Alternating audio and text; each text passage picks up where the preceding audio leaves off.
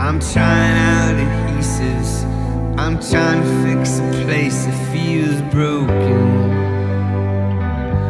All my words have failed me. My voices don't avail me. I'm trying to say the hope that's unspoken.